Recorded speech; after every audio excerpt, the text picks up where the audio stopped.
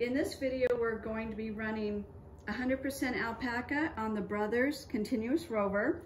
And I want to show you that I'm using the minimum length of this alpaca, three inches. And I'm going to be running 12 grams. And on the control box, I'm running it about 52. And then we're gonna get it started. And we're gonna look at the halo.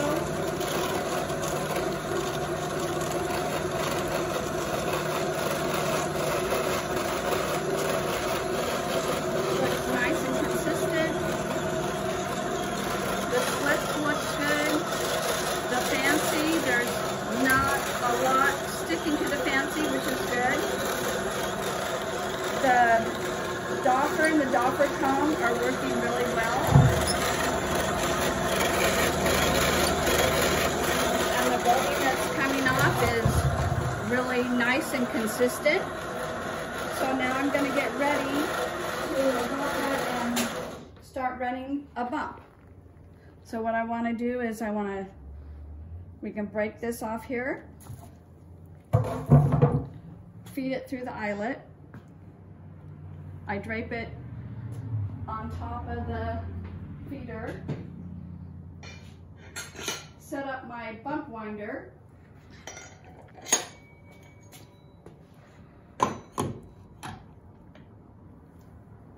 and then just do a quick little tuck. Start this up.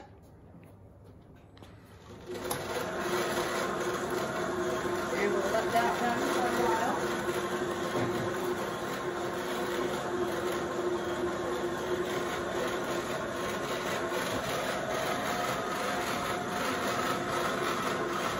And as I feed on the conveyor belt, I'm using these three sets of bolts as my guide.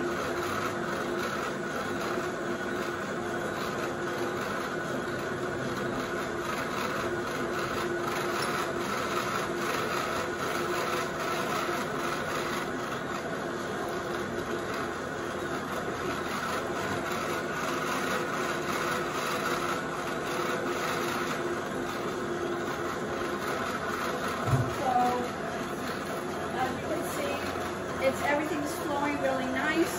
The spool is feeding very consistent. It's not pulling on the roving at all.